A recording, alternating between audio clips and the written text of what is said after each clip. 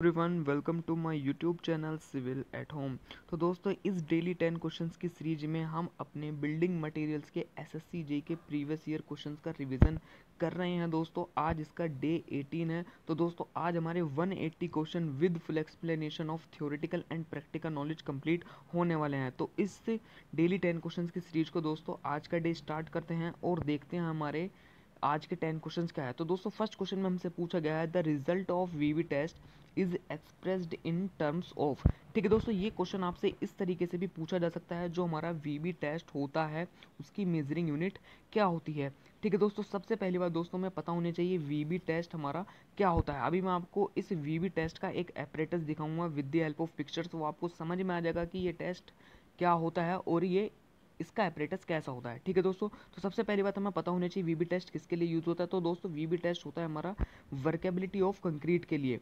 ठीक है दोस्तों वर्केबिलिटी ऑफ़ कंक्रीट के लिए हम यूज़ करते हैं वीबी टेस्ट ठीक है दोस्तों वी वी कंसिस्टोमीटर टेस्ट हम यूज़ करते हैं। ठीक है दोस्तों, और इसके अदर टेस्ट आपको पता होंगे। वर्केबिलिटी के आप मुझे उनका आंसर कमेंट करके बता सकते हैं, या फिर मैं आपको वहाँ पर रिप्लाई करके बता बता दूँगा। तो दोस्तों, इसके ऑप्शन देखते हैं। ऑप्शन हमसे क्या क्या दिए गए हैं। ठीक है दोस्तों, इसका पहला ऑप्शन है, क्या ऐसे सेकेंड में हम मेज़र करते हैं? मीटर में मेज़र करते हैं, न्यूटन पर एम एम स्क्वायर में मेज़र करते हैं या फिर के जी में मेज़र करते हैं। तो दोस्तों, आपको इसका आंसर सभी को पता होगा। इसका right answer option number A मतलब वी बी कंसिस्टोमीटर जो टेस्ट हमारा होता है, उसे हम सेकंड में मेज़र करते हैं। ठीक है दोस्तों, हमारी सेकंड जितनी भी, हमारी सेकंड कम आएँगी, वो कंक्रीट हमारा उतना ही ज़्यादा वर्केबल होगा। और वो जितना सेकंड ज़्यादा आएँगी तो हमारा कंक्रीट उतना ही कम वर्केबल होगा। ठीक है दोस्तों, मैं आपको इसका एपरेटस दिखाता हूँ। दोस्तों, इसका एपरेटस कुछ इस तरीके का, दोस्तों, इसका एपरेटस होता है। इसकी मैं आपको पूरी वर्किंग नेक्स्ट वीडियो में या फिर मैं जब भी वर्केबिलिटी के ऊपर एक वीडियो बनाने वाला हूँ, पूरी उसमें जिसमें आपको पूरी नॉलेज मिलेगी, उसके सारे टेस्ट के साथ। ठीक है दोस्तों तो ये आप एपरेटस देख लीजिए। ये वीबी टेस्ट के लिए एक एपरेटस होता है। आज हम अपना सेकंड क्वेश्चन देखते हैं तो हमारा दोस्तों, हमारा सेकंड क्वेश्चन कौन सा है? Plastering is also called as ठीक है दोस्तों, ये आपकी जनरल नॉलेज बढ़ाने वाला क्वेश्चन है। प्लास्टरिंग को और हम किस नाम से जानते हैं? दोस्तों, मुझे प्लास्टरिंग के बारे में एक्सप्लेन करने की ज़रूरत नहीं है, वो आप सभी को पता होगा। जनरल बात है एक सिविल इंजीनियर के लिए। ठीक है दोस्तों, अब जानते हैं प्लास्टरिंग को और हम क्या कहते हैं फिर उसे किस नाम से और जानते हैं? क्या हम उसे प्री कास्टिंग के नाम से जानते हैं? पार गेटिंग के नाम से जानते हैं? पोर्टिंग के नाम से जानते हैं या फिर उसे पॉलिशिंग के नाम से जानते हैं? ठीक है दोस्तों तो इसका राइट आंसर दोस्तों मैं आपको बता देता हूँ। इसका राइट आंसर होने वाला है दोस्तों पार गेटिंग क्योंकि दोस्तों पार गेटिंग का यहाँ पर मैं आपको मतलब बता देता हूँ पार गेटिंग का मतलब होता है किसी भी वॉल या किसी भी सरफेस को विद द हेल्प ऑफ़ किसी भी पेस्ट स्पेशली जो हमारा लाइम मोटर होता है और सीमेंट मोटर होता है, उससे कवर करना ही हमारा पार गेटिंग का मतलब होता है। और दोस्तों, सभी को पता होगा प्लास्टरिंग में भी हम यही करते हैं। ठीक है दोस्तों, यहाँ पर आपको प्री कास्टिंग का मतलब भी पता होगा। प्री कास्टिंग मतलब पहले से ही किसी चीज़ को कास्ट कर लेना है, उसे या फिर उसे पहले से ही किसी चीज़ को बना लेना। पॉलिशिंग का दोस्तों मतलब आपको पता होगा, जो हमारे सरफेस वगैरह होते हैं वोल्स वगैरह होते हैं उन पर पॉलिश करते हैं। मतलब उनको हमें, अगर हमें क्लीननेस दिखानी होती है या फिर उसे चमकाना होता है नॉर्मल लैंग्वेज है तो हम उसे पॉलिशिंग कहते हैं। ठीक है दोस्तों क्वेश्चन नंबर थर्ड देखते हैं आज का हमारा। क्वेश्चन नंबर थर्ड क्या है? क्वेश्चन नंबर थर्टी में दोस्तों आपसे पूछा गया है, बहुत ही जनरल क्वेश्चन है, इन प्लास्टिंग, जब भी हम प्लास्टिंग करते हैं, the first coat is called. आपको ये यहाँ पर बताना है ब्रैकेट में, या फिर जो डैश है यहाँ पर क्या होगा, जो हमारा फ़र्स्ट कोट होता है प्लास्टिंग का, उसे हम क्या कहते हैं, एंड इस, इट्स थिकनेस शुड बी, और उसकी थिकनेस एम mm में कितनी होनी चाहिए, ये आपसे पूछा गया है। ये भी क्वेश्चन दोस्तों 2018 के एसएससी जेई में आया था, जो ट्वेंटी जनवरी को मॉर्निंग शिफ्ट में हुआ था। ठीक है दोस्तों, सारे ही क्वेश्चन ये 2018 से हैं, ठीक है? इसके तो दोस्तों हम पहले ऑप्शन देख लेते हैं, इसके ऑप्शन क्या क्या दिए गए हैं। तो दोस्तों, इसका राइट आंसर दोस्तों मैं आपको बता देता हूँ, इसका राइट आंसर होगा अंडर कोट ठीक है दोस्तों? उसे हम अंडर कोट कहते हैं और इसकी जो थिकनेस होनी चाहिए दोस्तों, वो इसकी थिकनेस होनी चाहिए। 10 से 15 एम mm इसकी थिकनेस होनी चाहिए, ठीक है दोस्तों? यहाँ पर ये आपको क्लियर हुआ। अब हम देखते हैं हमारा क्वेश्चन नंबर फोर्थ, हमसे क्वेश्चन नंबर फोर्थ क्या कहता है which of the following statement is true कौन सा स्टेटमेंट दोस्तों हमारा ट्रू है? ये हमसे पूछा गया है। Mud plastering does it require curing curing का दोस्तों क्यूरिंग का आपको मतलब पता होगा दोस्तों। Mud plastering require curing it depends on situation ठीक है दोस्तों, ये आपसे मड प्लास्टिंग जो हमारी होती है, उसकी पिक्चर भी मैं आपको दिखा दूँगा। वो कैसी दिखती है मड ब्लास्टिंग दोस्तों तो इसमें आपसे ट्रू इसका पूछा गया है, जो हमारा स्टेटमेंट है, वो कौन सा स्टेटमेंट ट्रू है? तो ठीक है दोस्तों, इसके ऑप्शन देख लेते हैं ऑप्शन क्या है? क्या हमारा ऑप्शन ओनली वन जो हमारा स्टेटमेंट है, वो ट्रू है या फिर बी है या सी है या फिर कोई भी नहीं है? तो दोस्तों, इसका राइट आंसर है दोस्तों ओनली ए जो हमारा स्टेटमेंट वन है, वो बिल्कुल सही है, क्योंकि दोस्तों, जो हमारी मड प्लास्टिंग होती है, उस पर हमें क्यूरिंग की रिक्वायरमेंट नहीं होती। अब मैं आपको पिक्चर दिखाने वाला हूँ, उससे आपको समझ में आ जाएगा कि उस पर क्यूरिंग की रिक्वायरमेंट क्यों नहीं होती। तो दोस्तों, ये पर्सन आपको दिख रहा है, ये मैं यहाँ पर मड प्लास्टिंग कर रहा है। ठीक है दोस्तों, अब आपको मड पता होगा दोस्तों, मड की प्रॉपर्टी क्या होती है। जैसे भी जैसे ही वो वाटर के कॉन्टैक्ट में आने लगती है, या मड दोस्तों हमारी क्या होती है, मड के अंदर हमारी एक टाइप की मिट्टी ही होती है। और आपको पता है, जब भी मिट्टी मॉइस्चर के कॉन्टैक्ट में आती है, उसका वॉल्यूम इंक्रीज होने लगता है। तो दोस्तों, ये क्या होता है, जब भी हम इसकी क्वेरिंग करेंगे तो दोस्तों यहाँ से छूट जाएगी, अपना जो सरफेस है, उसको छोड़ देगी। ठीक है दोस्तों तो इसलिए हम मड ब्लास्टिंग की कभी भी क्यूरिंग नहीं करते हैं। ठीक है दोस्तों, यहाँ पर ये आपको पता चला, आज का अपना नेक्स्ट क्वेश्चन देखते हैं। क्वेश्चन नंबर फाइव में क्या पूछा गया? Which of the following statements is true ठीक है दोस्तों, इसमें आपसे ये पूछा गया, ये भी आपकी जनरल नॉलेज बढ़ाने वाला ही एक क्वेश्चन है। The quality of water governs the strength of concrete ठीक है दोस्तों, जो हमारा स्ट्रेंथ होती है कंक्रीट की वाटर पर डिपेंड करती है या फिर उसकी क्वालिटी पर डिपेंड करती है, उसकी स्ट्रेंथ बिल्कुल सही बात है दोस्तों। जो हमारा कंक्रीट होता है, उसकी स्ट्रेंथ वाटर की क्वालिटी पर डिपेंड करती है।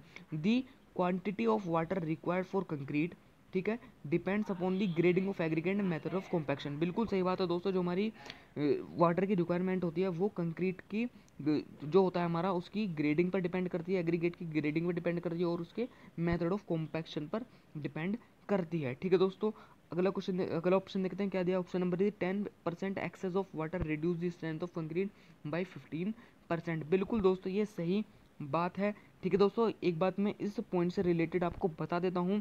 जो हमारी एक्सेस ऑफ़ वाटर होती है, वो उस कंक्रीट को वर्केबल तो ज़रूर बनाती है। याद रखिए वर्क वाटर अगर हम उस, बढ़ा देंगे तो उसकी जो दोस्तों हमारी वर्केबिलिटी होगी, वो बिल्कुल इंक्रीज हो जाएगी। लेकिन अगर हम वाटर को कम करते हैं तो हमारी स्ट्रेंथ इंक्रीज होती है। ठीक है दोस्तों, लेकिन यहाँ पर वर्केबिलिटी बढ़ेगी वाटर बनाने पर और उसकी स्ट्रेंथ घटेगी। ठीक है दोस्तों तो इसका राइट आंसर दोस्तों क्या है? Option number four all option are correct इसका राइट आंसर है। आज का हमारा क्वेश्चन नंबर सिक्स देखते हैं दोस्तों। क्वेश्चन नंबर सिक्स में हमसे क्या पूछा गया है? In method of voids for determination of the quantity of cement page it is assume that जब भी दोस्तों हम determination of quantity of cement करते हैं with the help of voids method ठीक है दोस्तों तो ये हम क्या एज्यूम करते हैं, ये आपसे पूछा गया है। तो दोस्तों, ये भी आपके लिए एक जनरल क्वेश्चन है, बहुत जनरल क्वेश्चन है मतलब बहुत जनरल नॉलेज बढ़ाने वाला क्वेश्चन है एज ए सिविल इंजीनियर तो दोस्तों, देखते हैं voids in coarse aggregate are filled with fine aggregate बिल्कुल सही बात है दोस्तों, जो हमारे वोइड्स होते हैं कोर्स एग्रीगेट के अंदर, वो हमारे फाइन एग्रीगेट की हेल्प से फिल हो जाते हैं। ऑप्शन नंबर टू क्या है? Voids in fine aggregate are filled with cement paste बिल्कुल सही बात है दोस्तों सीमेंट पेस्ट और वाटर की हेल्प से जो हमारे वोइड्स होते हैं फाइन एग्रीगेट के अंदर वो फिल हो जाते हैं। ठीक है दोस्तों, और हमारे जो सीमेंट पेस्ट के जो हमारे वोइड्स होते हैं, वो with the help of water fill हो जाते हैं। ये बात हमेशा याद रखिए दोस्तों।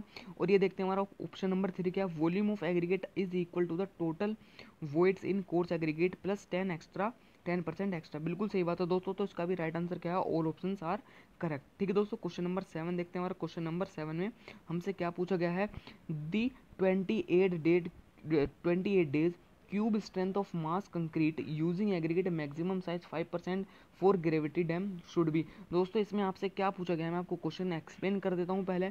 इसमें दोस्तों आपसे पूछा गया है, जो हमारा क्यूब स्ट्रेंथ होती है, जब भी हम अपना कंक्रीट का एक क्यूब बना लेते हैं ठीक है दोस्तों, जिसमें हमारा एग्रीगेट का जो मैक्सिमम साइज़ है वो फाइव सेंटीमीटर है।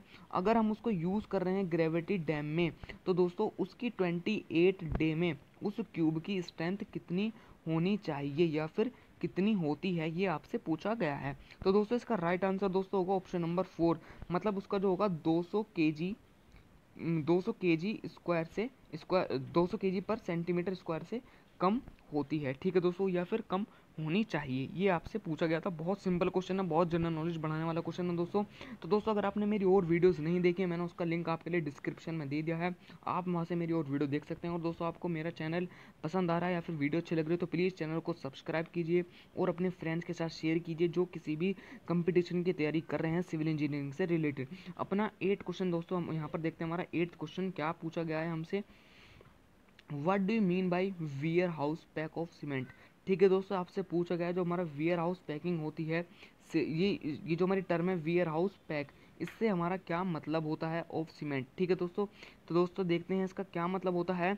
ऑप्शन नंबर थ्री दोस्तों, यहाँ पर ये देख लीजिए, ये इसका राइट आंसर है, बिल्कुल वियर हाउस पैक का मतलब क्या होता है? Warehouse pack of cement इसका मतलब क्या होता है? Pressure compaction of the bag on lower layers ठीक है दोस्तों, जो हमारा प्रेशर होगा, जो हमारा कॉम्पैक्शन होगा pressure of compaction of the bag होगा, वो लोअर लेयर्स पर होता है। ठीक है दोस्तों तो इसका right answer option number three अब यहाँ पर देखते हैं अपना क्वेश्चन नंबर नाइन हमसे क्या पूछा गया है दोस्तों? Which of the following refer to the process of process of proper and accurate measurement of concrete ingredient for uniformity of proportion दोस्तों, मैं इस क्वेश्चन को आपको एक्सप्लेन कर देता हूँ। ये क्वेश्चन मैं आपको प्रीवियस वीडियोस में कई बार बता बता चुका हूँ।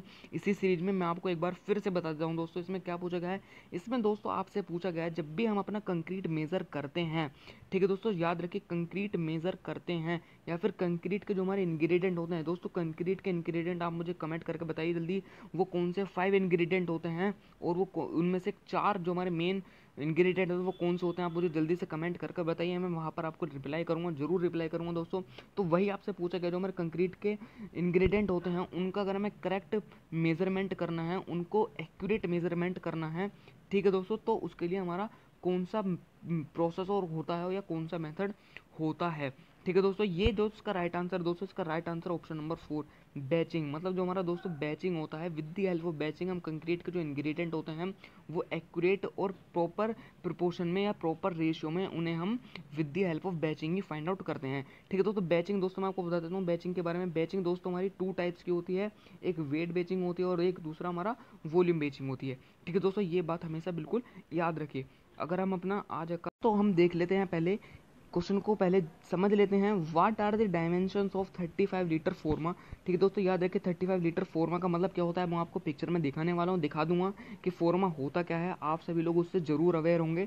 ठीक है दोस्तों तो 35 लीटर फोरमा जो होता है बाय मेजरिंग ऑफ़ जिसके लिए हम, जिससे हम अपनी एग्रीगेट मेजर करते हैं बाई वॉल्यूम ठीक है दोस्तों, उसकी मेज़रमेंट आपसे पूछी है। तो दोस्तों, इसका right answer option number three length होती है उसकी twenty five centi twenty seven centimetre width होती है उसकी ट्वेंटी सेवन सेंटीमीटर और उसकी हाइट होती है फोर्टी एट सेंटीमीटर ठीक है दोस्तों तो अब आप यहाँ पर एक फॉर्मल देख लीजिए दोस्तों, ये हमारा फोरमा थर्टी फाइव लीटर फोरमा दोस्तों।